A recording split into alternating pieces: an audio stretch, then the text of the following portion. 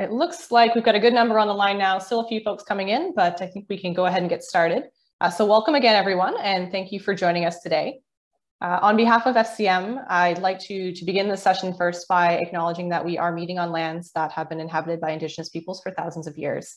And we at FCM recognize the Algonquin Anishinaabe people as the traditional custodians of the land uh, upon which FCM's offices are located and uh, where I myself am currently situated.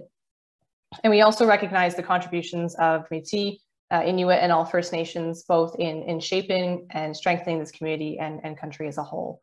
Uh, so wherever you are, please join me in, in paying our respects to the original stewards of this land and committing ourselves to, to thoughts and actions that will lead to meaningful re reconciliation wherever we live now.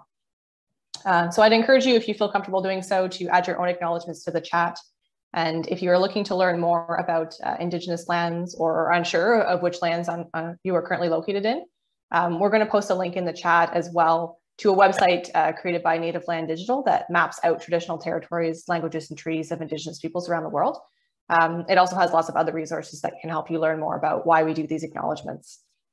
This is an important part of, of recognizing our, our history and our continued impact as we work towards a more sustainable and equitable future for everyone.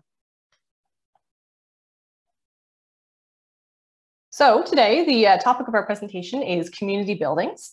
And uh, this webinar is a first look at our new initiative, the Community Buildings Retrofit Initiative, uh, and how it supports municipalities to improve the performance of these buildings.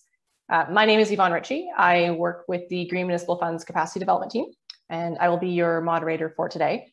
So I will uh, start us off with a, a, brief introduction and then transition over to our speakers uh, to give the presentation. Uh, so the Federation of Canadian Municipalities, or FCM, as, as, many of you know, is the, the national voice of local governments in Canada. And our mandate is uh, to deliver programs that build municipalities' capacity to deliver innovative, cost-effective, and local solutions to environmental challenges uh, and to enhance quality of life uh, for, for their citizens.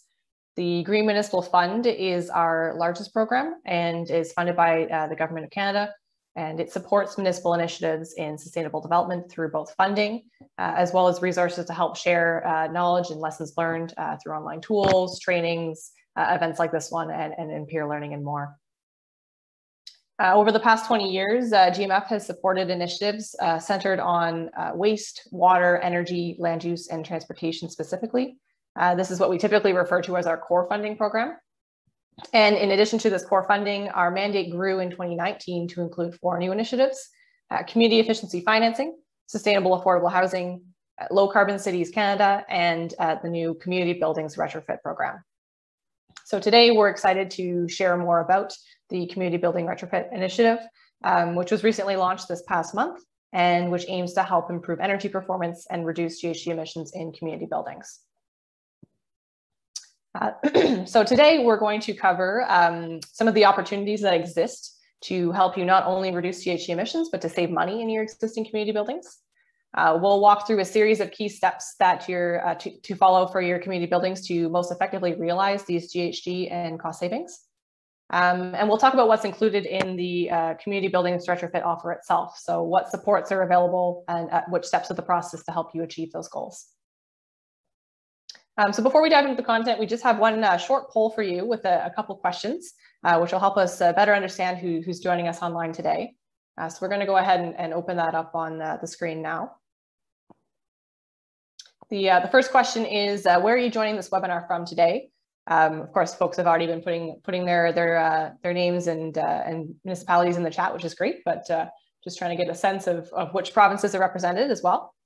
Uh, the next question is, what type of organization do you work for? And then the final question is, approximately how many people live in your municipality? So we'll give a few more seconds for folks to answer, still seeing lots of responses trickling in. Seems like we've got pretty good representation, of course, from Ontario, as well as uh, a number of the Atlantic provinces.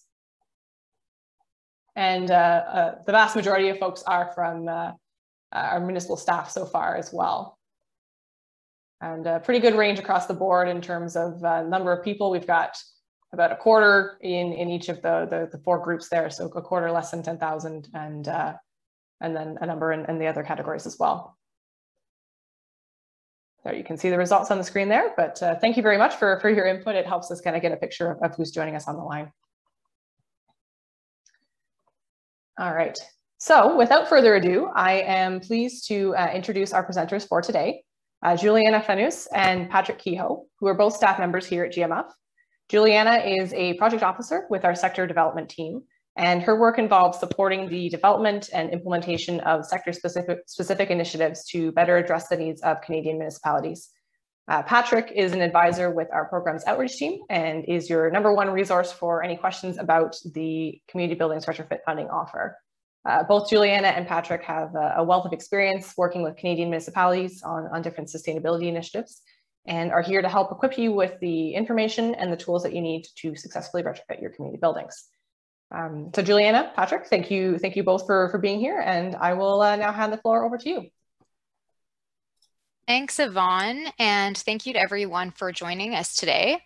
I hope that you're all staying safe and healthy during these pretty challenging times.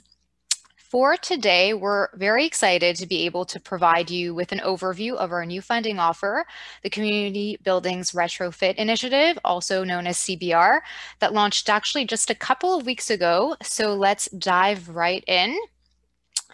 So you'll notice that through our initiative name, this funding offer is specifically geared towards community buildings.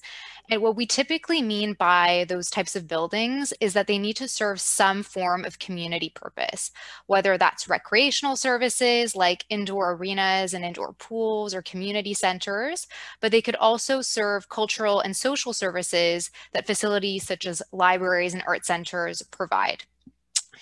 As you know, these types of buildings are really at the heart of Canadian communities and they deliver really important benefits to their residents.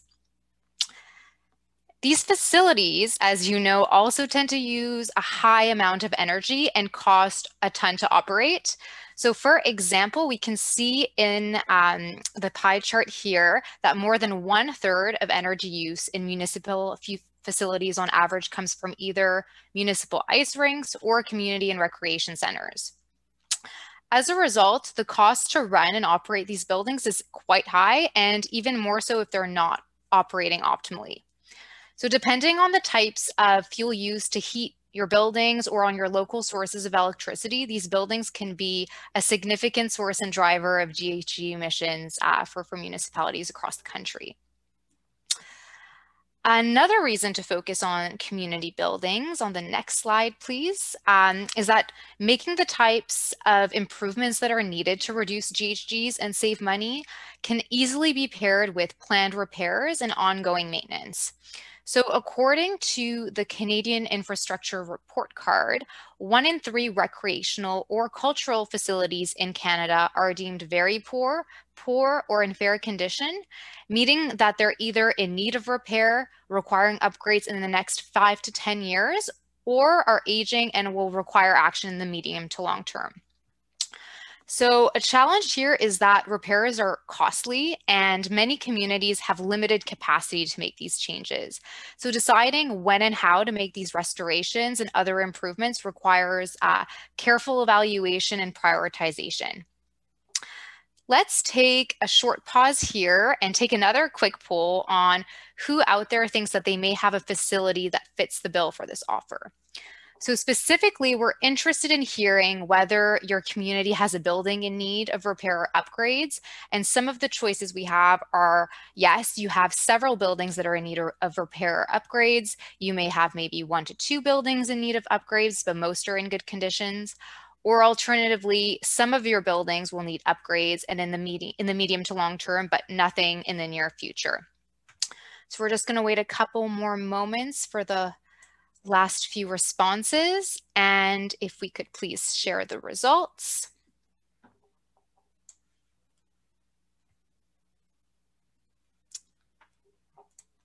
Okay, so it seems like the vast majority of you uh, have several buildings in need of repair or upgrades, and a few of you, um, less than a third, have one to two, and the minority, unsurprisingly, have a few buildings that uh, will need to be upgraded in the near to long term. So thanks for providing your input. It provides a bit of a snapshot as to who's joined us today.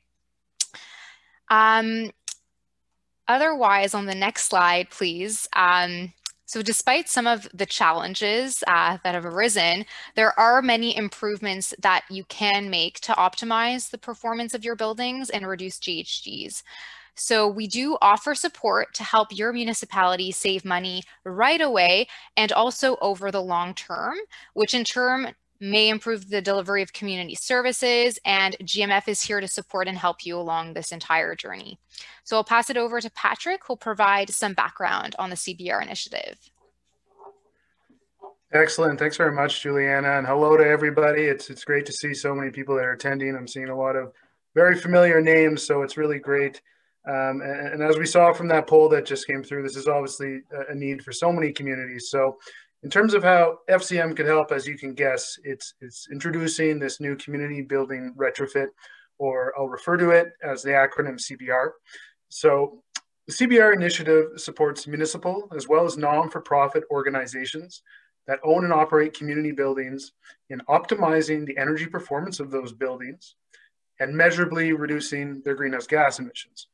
Now, uh, CBR's mission is to support municipalities uh, and, and, their nonprofit partners in achieving a, those triple bottom line benefits through the retrofitting of these buildings that are heavily used by community members. So when we're talking about triple bottom line benefits, of course, we're looking at one, the environmental, so, so reducing those emissions in, in those types of buildings. Um, there's the, the economic, so lowering those operating costs, um, extending the life of use, and, and, as well as creating local jobs. And, you know, when we're looking at these types of public facing buildings, of course, the social um, aspect is, is equally important. So improving the building quality and supporting the community use. CBR is a $167 million initiative is made possible uh, through the federal government contribution of 950 million as part of budget 2019.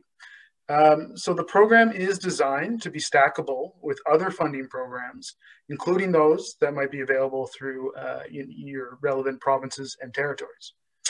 Um, this is also a reference, but I wanted to note that um, part of that larger contribution in the 2019 budget, there was a portion set aside for seven major urban centers uh, in Canada for establishing a collaboration with Low Carbon Cities Canada. So these seven centers include the cities of Vancouver, Edmonton, Calgary, Toronto, Ottawa, Montreal, and finally the Halifax Regional Municipality.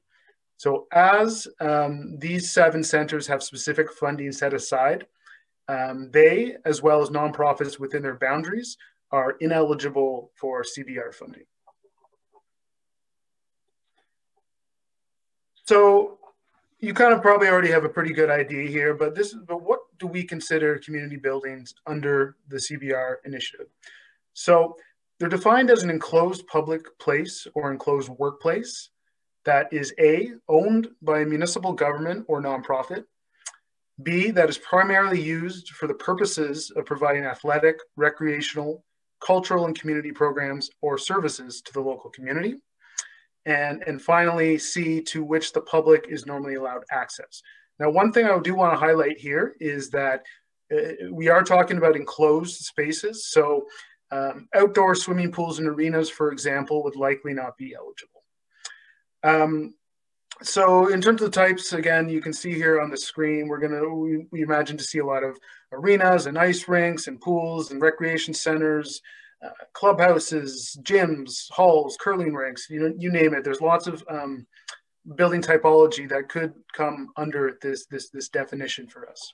I'm gonna pass it back to Juliana here.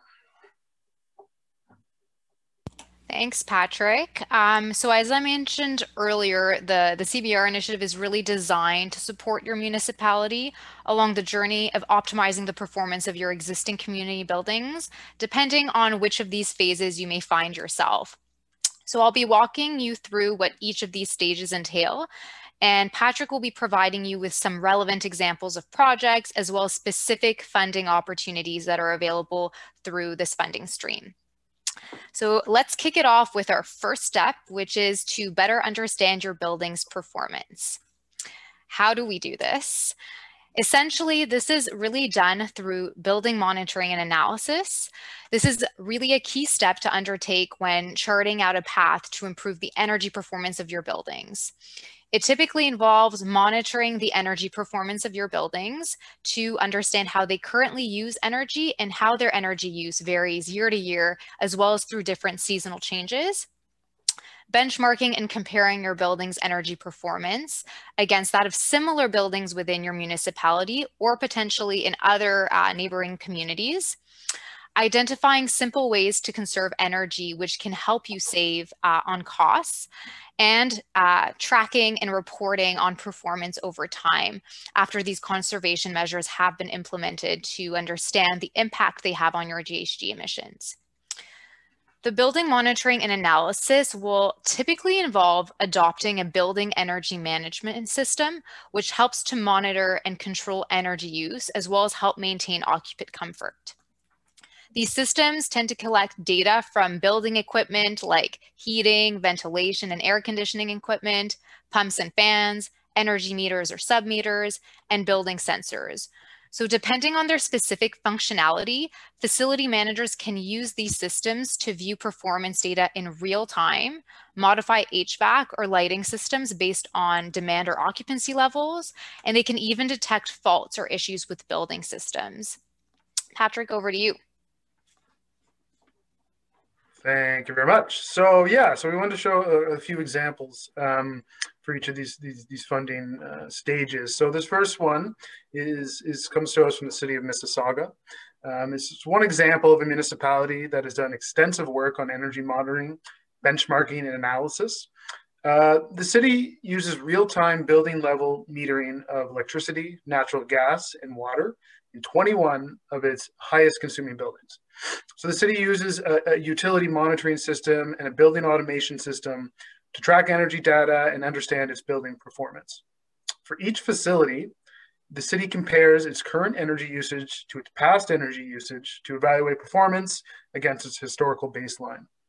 This allows them to understand if and how performance has improved over time. In addition to comparing buildings against historical performance, they also use industry standards to benchmark their performance and set targets.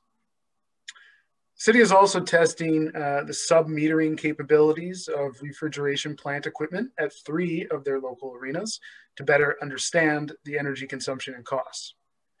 In 2016, they undertook a pilot at one of their arenas, currently shown here, the Iceland Arena, um, to, to identify opportunities to optimize and improve its performance. This involved installing a portable data logger to track real-time electricity consumption of their ice plant equipment. And subsequently, they were able to make small adjustments to their equipment schedule, which was a change that actually resulted in over 20% decrease in electricity consumption in the winter and an annual savings of almost $40,000. So moving on to um, how the CBR initiative, next slide, please, um, can, uh, can, can help um, support municipalities to take on a similar challenge. So through the CBR, you can apply for grants of up to $25,000 to cover up to 80% of eligible costs for establishing a building monitoring and analysis system. So grants are targeted to owners of community buildings that do not currently have these types of systems in place. And the two activities required uh, to, to be eligible for this grant include uh, first the setup and use of energy management software, as well as doing some building energy benchmarking. On top of that, however, the project may also include services to support those activities or help you analyze the results, um, identifying energy conservation measures, as well as procurement and installation of sub-metering systems one important point uh, to bring to, to, to, your attention here is that only one of these grants will be available per municipality. So you may want to consider, if you're applying, use a portfolio of buildings, use more than one building. This helps. Will, this will help support your business case for the ongoing monitoring and analysis costs, which typically take the form of, uh, of yearly service fees. Back to you, Juliana. Thanks, Patrick. So let's take a look at the next step, which is to optimize your existing building systems uh, to ensure that your buildings are operating as efficiently as possible. When we talk about optimizing your buildings, we typically are referring to building recommissioning. Recommissioning your existing buildings, which is often uh, abbreviated to EBCX, is one of the most economical ways to reduce energy and GHG emissions, and it can also save you from making unnecessary upgrades to building systems. So this typically involves assessing how equipment and systems are currently operating and finding simple ways to improve or maintain your performance. Most optimization measures are low cost or no cost solutions to address underlying integration issues. These type of low hanging fruit measures can have a surprisingly high impact on the building's energy performance between 5 to 15% for the whole building. And uh, it has a relatively short payback period, typically less than three years. So there is a strong value proposition for undertaking uh, recommissioning work. The types of improvements that you can make through recommissioning can also have other benefits besides energy performance, including improving occupant comfort, reducing maintenance costs, and extending equipment life. So if we were to look at the different, uh, the two different types of commissioning, um, you may you may have heard of a small distinction between recommissioning and retro commissioning. Recommissioning is a reoptimization process for existing buildings. So it seeks to improve how building equipment and systems are operating to meet building use requirements and expectations. As previously mentioned, this is done by identifying problems and integration issues, as well as low cost or no cost operational improvements. This process can be either undertaken alone or along with a capital retrofit project.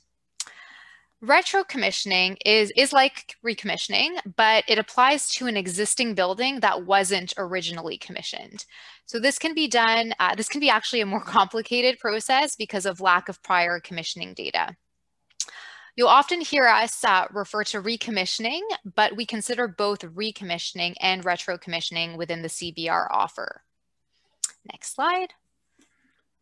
So again, back to a little example here for you. So this one is coming from Nova Scotia and the city of Halifax.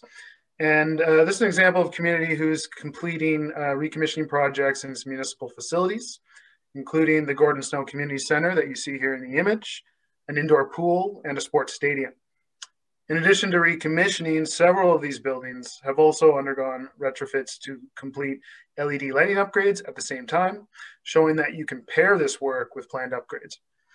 As a result of this work, each building has seen substantial energy and cost savings.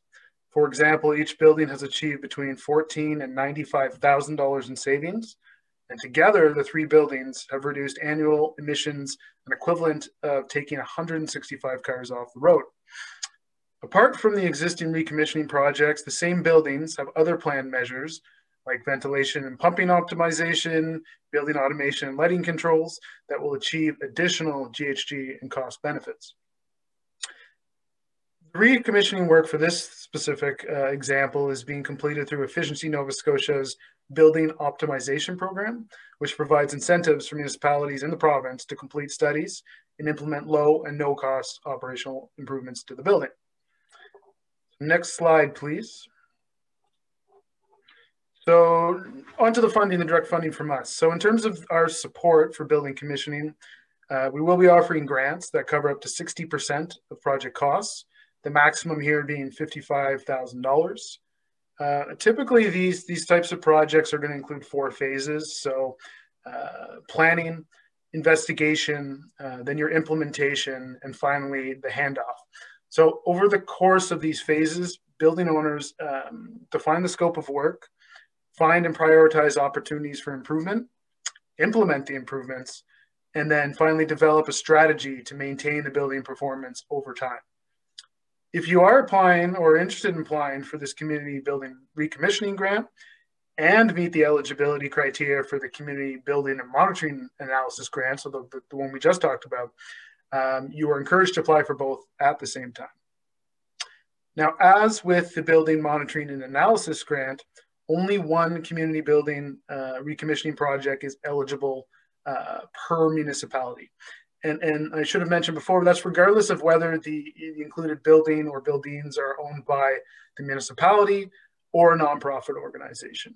So it, to give an example of that, that would be, let's say, a nonprofit uh, in the city of uh, Saskatoon decides to apply for one of these uh, grants that would, uh, and, and, they're approved, that would make the, the city of Saskatoon itself ineligible to apply.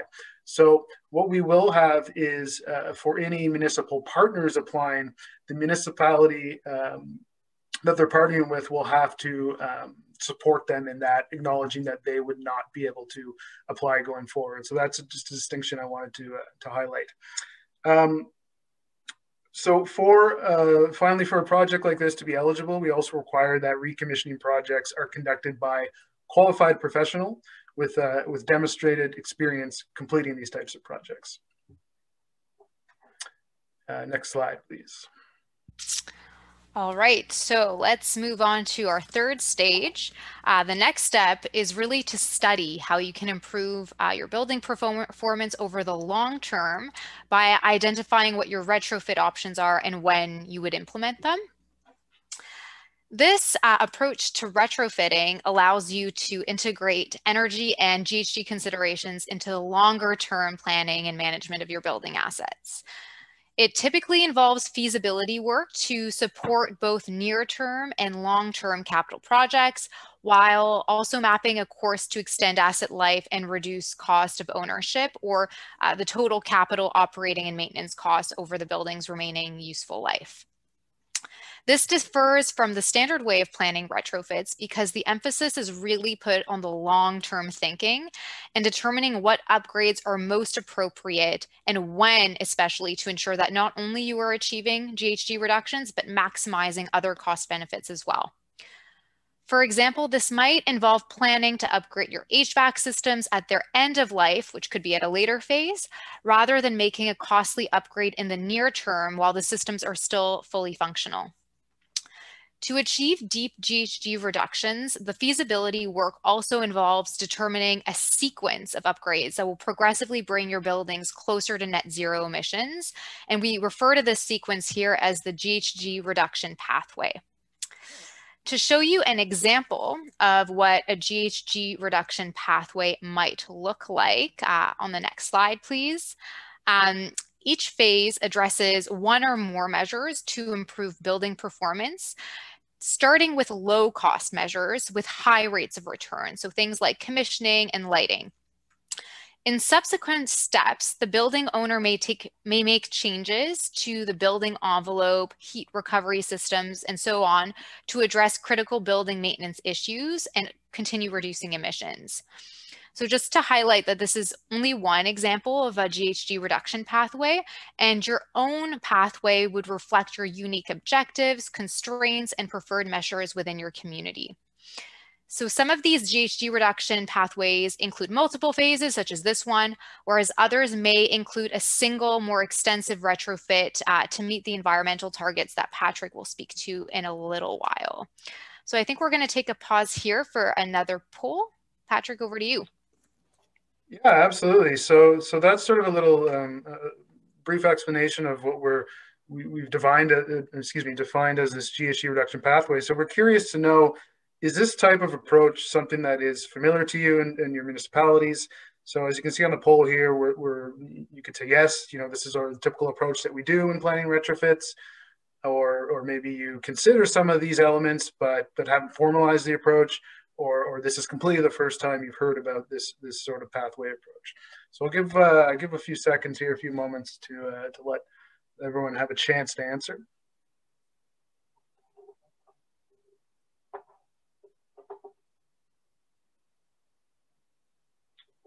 All right, let's see what results we have here.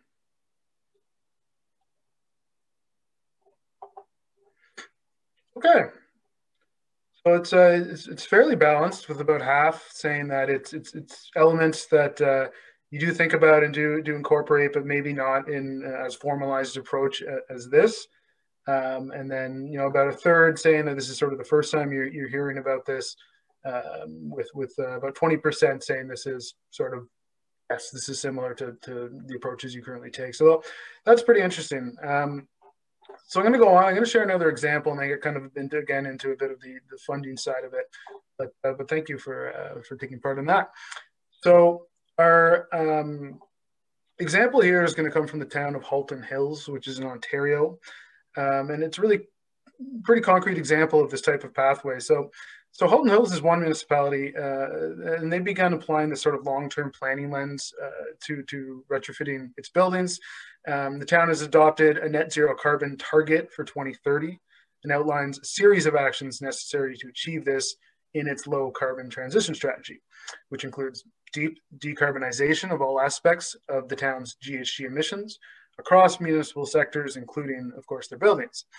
Um, the town has also grappled with rising costs of community facilities due to the cost of electricity, uh, rapid population growth, and uh, the expansion of its community building stock. So to help tackle this challenge, the town completed energy audits of roughly half of its community facilities to understand their energy and GHG data and benchmark them against uh, others of comparable size and use. They then extrapolated trends from the audits to estimate energy use for the remaining facilities, develop energy use targets for each building, and create a list of possible measures to meet these targets. For each individual measure, the town calculated the cost, the payback period, and the energy and GHG savings associated with it.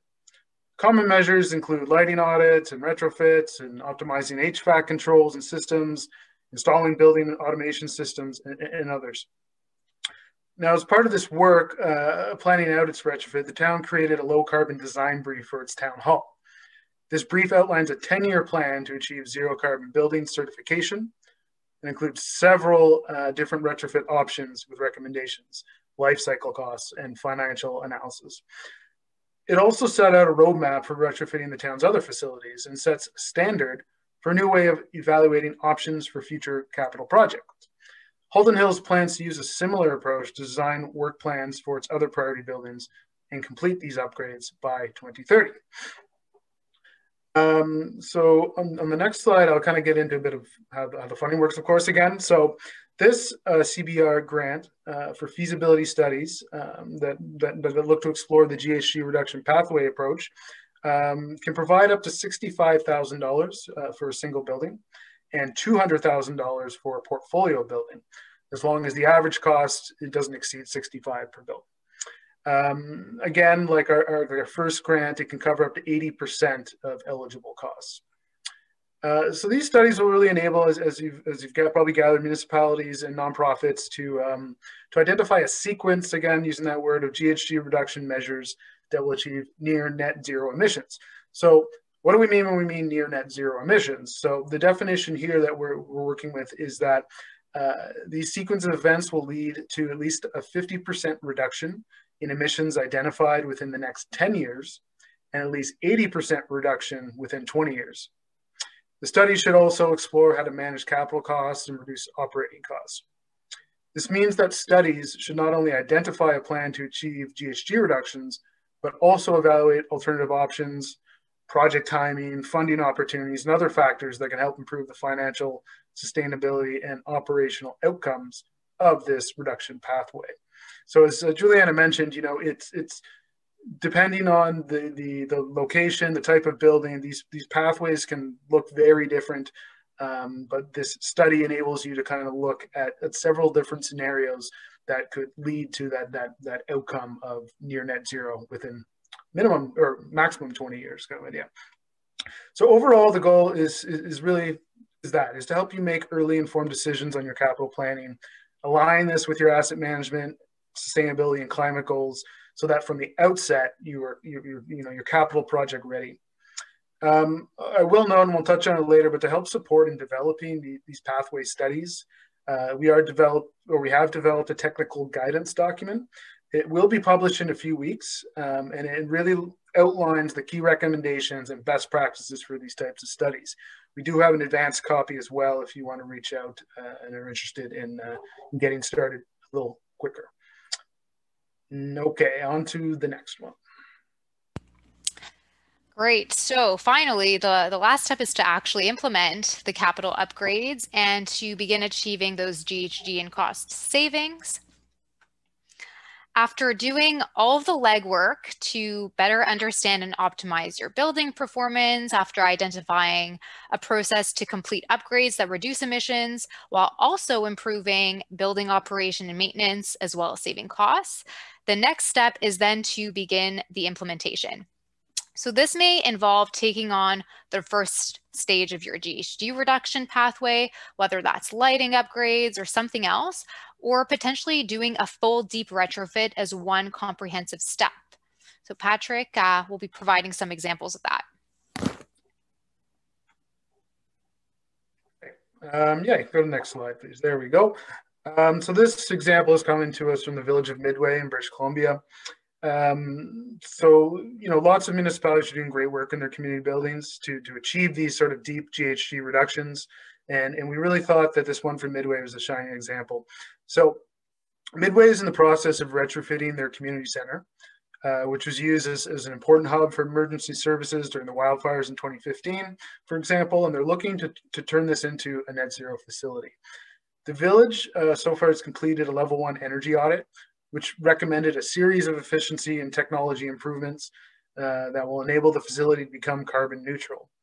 The project will implement demand side reductions such as LED light fixture replacements, window conversions to triple pane glass, uh, heating optimization controls, and, and, others. It will incorporate fuel switching strategies as well, such as uh, air source heat pump system and integrating uh, solar photovoltaic generation for use and selling back to the grid. Uh, building automation systems will also play a pivotal role in maximizing the efficiency of the building, monitoring the system for any issues of concern, notifying operations of any problems, and measuring, or excuse me, measuring the facility performance. Uh, the retrofit project is championed by the Midway Community Hall Renovation Committee and is also supported through the village's official community plan. So this is from a population of less than 700 people, and it, it's really a great example of leadership in, in a smaller community. Now, explain our, our capital funding and how that works. There's actually sort of two branches of this funding that can be available. Uh, if you go to the next slide, please. So the first one is our capital project GHG impact retrofit is what we're calling it. So to help impact, or excuse me, to help implement your upgrades, um, uh, the first is this impact uh, capital project, and these projects are, are set to aim to reduce GHG emissions by at least 30% compared to current baseline. Um, projects are eligible for a combination of loan and grant funding up to a combined maximum of $5 million, and again, up to 80% of eligible costs.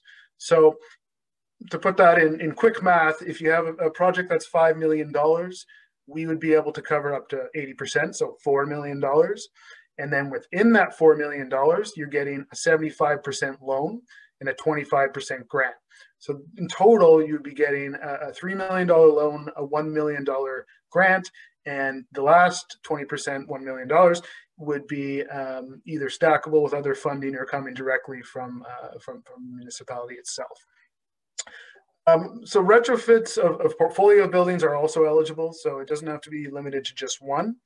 Um, and we are also including, if you are taking a portfolio approach, the, the flexibility to add in non-community buildings. So as long as within your portfolio you have at least a community building, you can also include others, for example, uh, you know, administration buildings and wastewater treatment plants and, and fire halls and, and on and on and on. So the, that portfolio approach does allow for a little bit more flexibility there. Um, it's also worth noting that from this 30%, uh, only a third of it can come from renewable energy. Uh, so at least two thirds must come from, from efficiency and, and fuel switching. Um, and, and again, just for this GHG impact retrofit, it is sort of designed for projects that may be uh, shovel ready now that haven't followed this this GHG reduction pathway approach. So we just wanted to make sure that um, you know projects that are more shovel ready, let's say, uh, do have access to the funding. Um, next slide, please.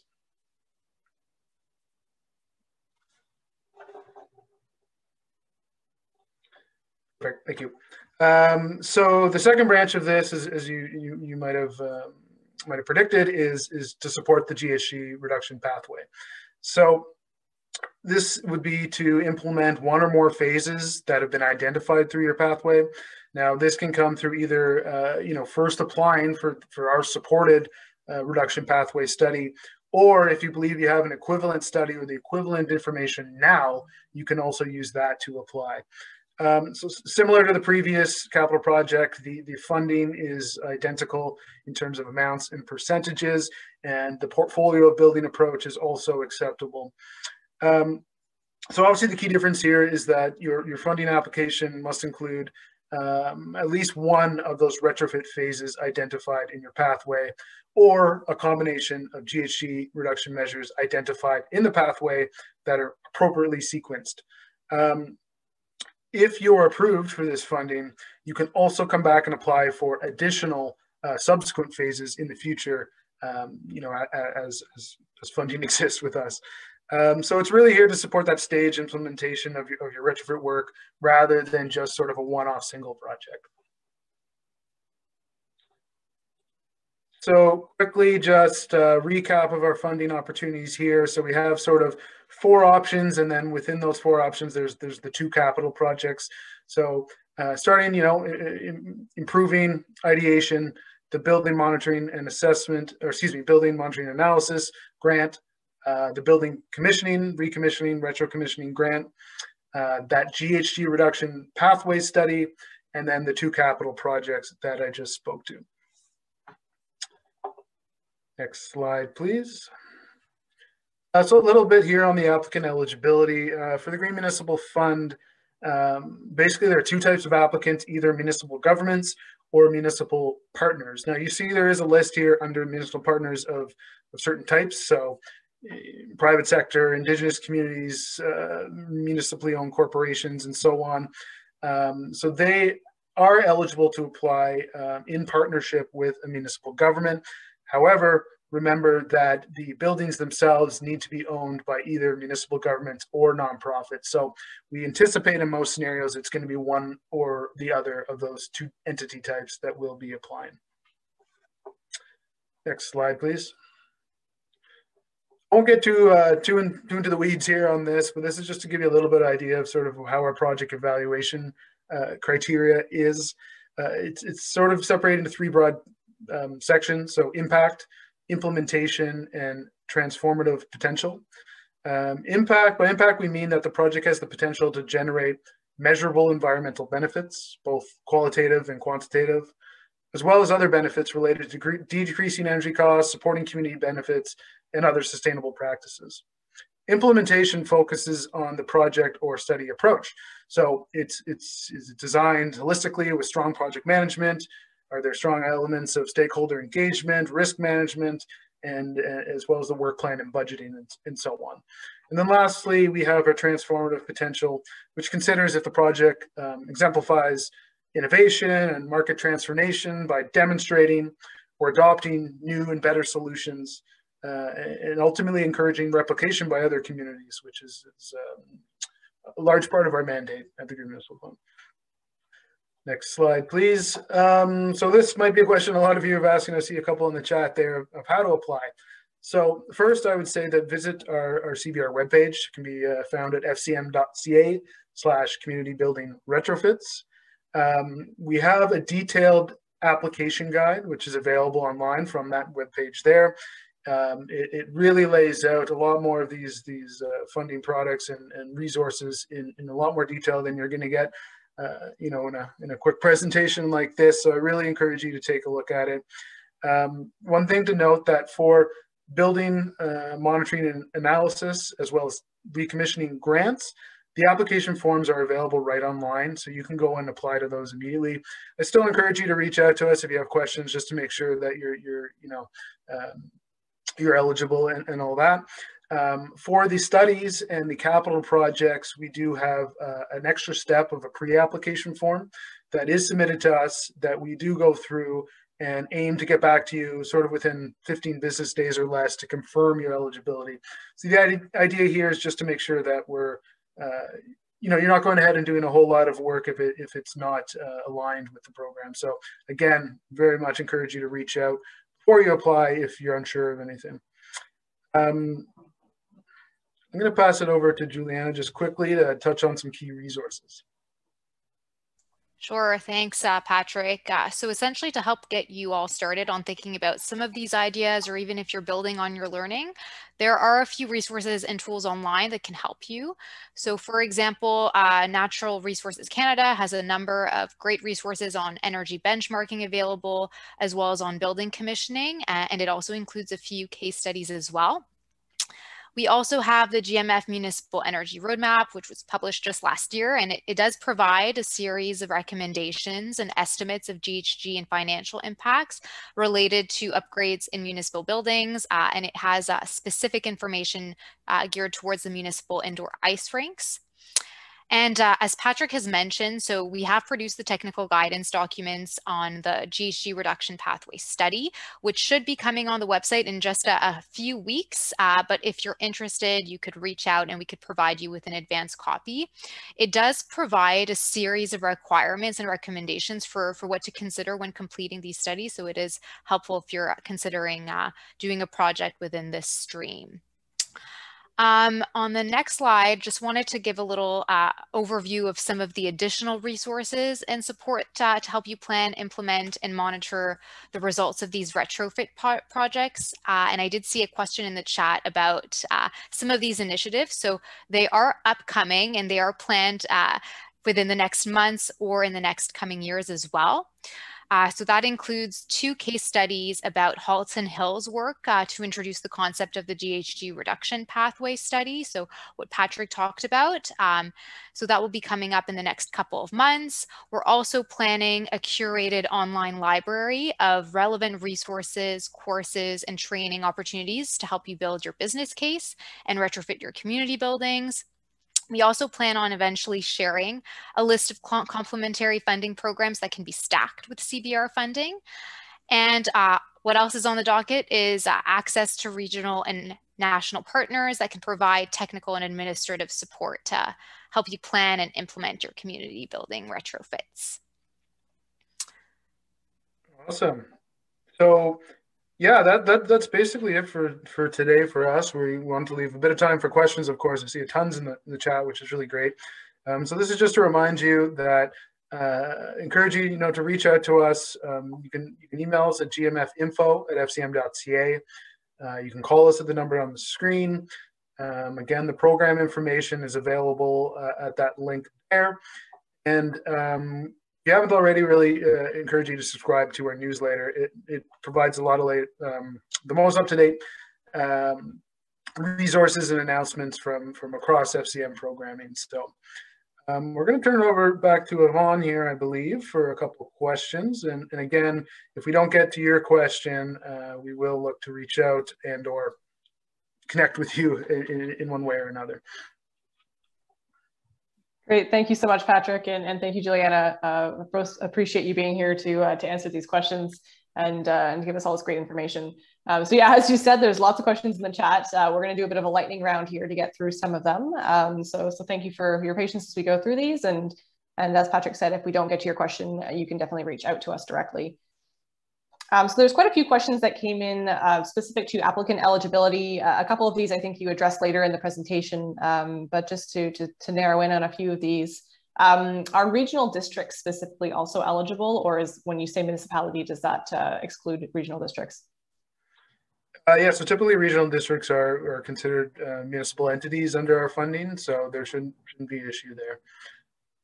I, I would note, however, that if a regional district is applying for a building within a certain municipality, then that municipality couldn't also apply. So it would have to still follow that um, one per municipality uh, framework. Great. And then there was another question about uh, specifically in Ontario, are conservation authorities considered eligible for this program? Um, that's a good question. So conservation authorities likely uh, could be a, a, a, within a partnership of uh, municipalities if they are um, you know, supporting um, community buildings that are either owned by municipality or, or nonprofit. Okay, great, thank you. Um, and then there's also quite a quite a number of specific questions around building eligibility. Um, there's a few that came in that were, were quite specific about uh, certain projects. So I, I, would certainly recommend if you have a specific project in mind to, to reach out to Patrick and, and he can uh, can sit down with you and, and talk about the specifics. Um, but a couple other building types that came up were things like churches and schools, um, museums, um, uh, municipal office buildings, for example, that are located in a section of a community building. Uh, can you comment a little bit more on, on those types of projects and that might what might be eligible in, in that respect? Yeah, sure. So um, in terms of specific ones, museums, uh, yes, they would be.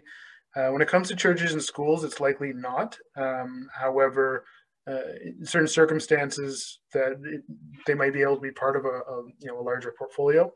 Um, admin infrastructure within a larger complex uh, would be eligible as, as long as they're they're sort of applying together as one building, I guess I would say. Um, so I think in a lot of those cases, the the best case would be to to uh, to bring it as a portfolio approach with uh, established community building. Okay, great. And there's a couple questions I think that would sort of fall under what I, I would consider a hybrid approach. Uh, for example, uh, you mentioned outdoor swimming pools would not be eligible. Um, but if you wanted to, for example, convert an outdoor pool uh, to an indoor swimming pool, was that something that would be considered? Um, so that would be more considered uh, like a new build for us. So um, it, it, probably wouldn't be uh, eligible. Um, it needs to be able to show a baseline uh, GHG uh, emissions and then what your anticipated reduction would be. So adding an enclosure over an outdoor swimming pool would uh, it would change sort of the the use, I guess, not the use, but you know what I mean. Like a sort of it'd be hard to to, to work through that. So I would say no. Um, in situations where there is an outdoor facility that is attached to an indoor facility and they share, uh, you know, certain common energy systems like a geothermal system, for example, that could be a scenario where it, it could um, could include sort of that parts of those outdoor features as well.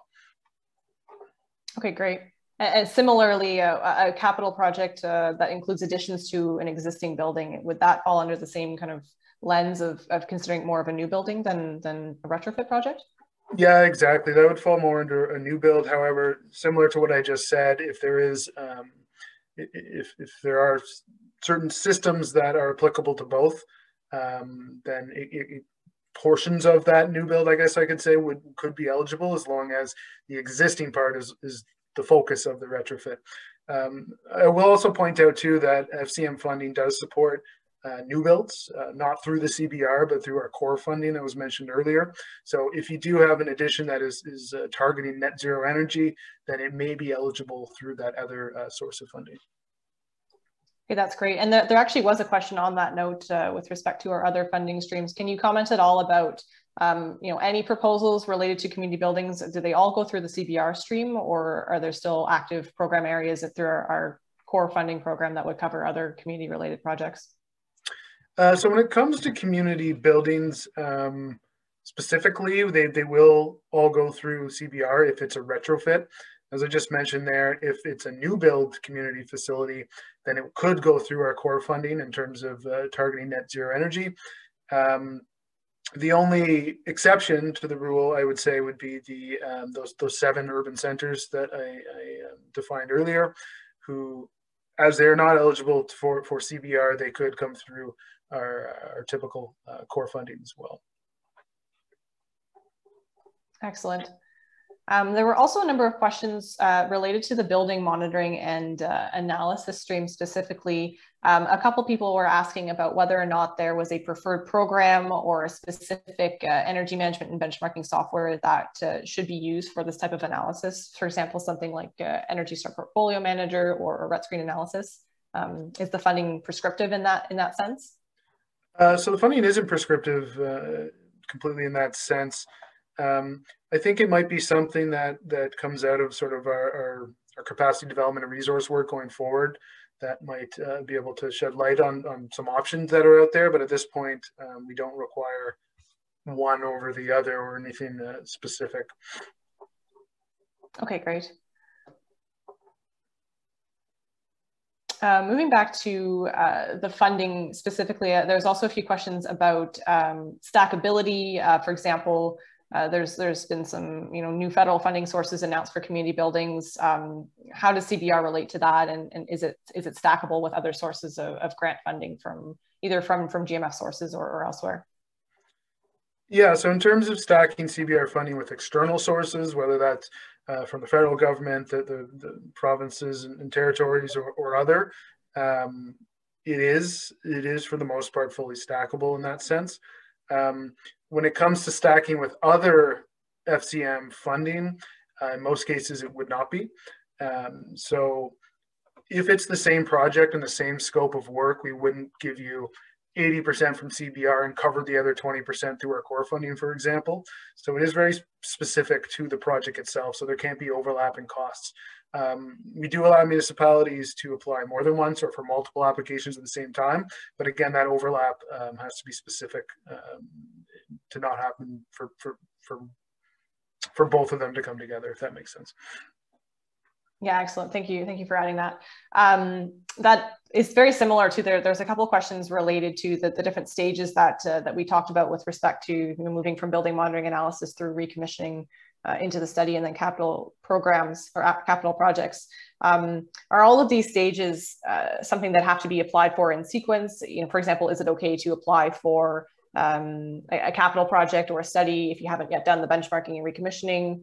uh, through FCM, or, or, what would be your comments on sort of how people can move in and out of this uh, this funding pathway?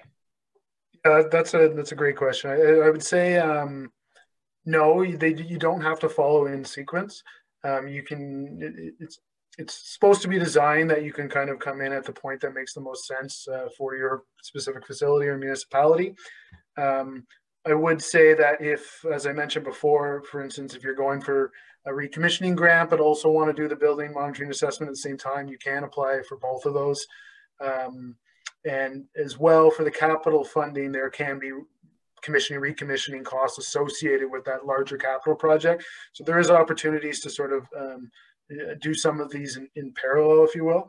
Um, but but yeah, I would say it's it's the sequencing of these of these sort of four interventions uh, often do kind of flow into each other specifically the the building monitoring and analysis into the study work because you're using a lot of that information you currently or that you generated through that that to um, to support your baselines and to support your identification of uh, efficiency measures and so on. So there is sort of a natural way but it isn't a requirement of us for you to start with one thing and, and to be able to go to the next thing.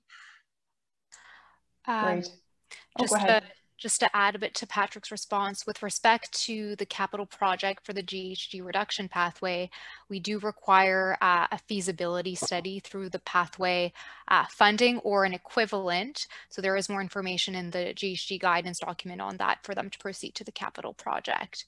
And similarly for the GHG impact, we require a feasibility study for that funding as well. Okay, great. Good point.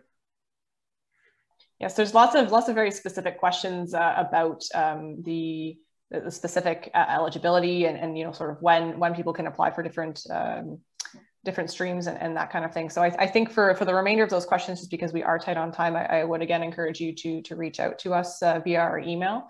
Uh, or, or uh, to Patrick directly, he's certainly happy to, to talk with you about uh, about what might be possible for for your community. So I, I think we'll, we're going to wrap up there just because, again, we are tight on time. So I just want to say a, a thank you to, to Juliana and, and Patrick for your, uh, uh, for your time today and to all of you for, for your attendance and uh, your engagement. Uh, I can see that there are still lots of questions, uh, which is fantastic. So again, our contact information is on the screen. Um, please feel free to, to reach out to us. Um, before you go, we will also be sending a link uh, to, to, a survey in the chat. this will also be in the follow-up email. Um, so you can, uh, if you could please take a few minutes to fill that out and provide us with your feedback, uh, that's, that's very helpful for us in, in shaping these webinars. Um, and that will also give you an opportunity to add any uh, additional questions that weren't answered today that we can follow up with you on directly. Um, as I mentioned, we will also be sharing those uh, a few key takeaway slides as a resource. Um, those have been posted in, in the chat a few times throughout the session. Um, so you can use that to, to access the, the links to the website uh, and the application guide, uh, as, along with um, some of the key uh, inf information packages about the different funding streams. And again, uh, links are on the slide here, as well as to our weekly newsletter, which will provide you with uh, more updates as uh, new resources become available over time as well. Uh, so with that, thank you all again, and I wish you a wonderful rest of your day.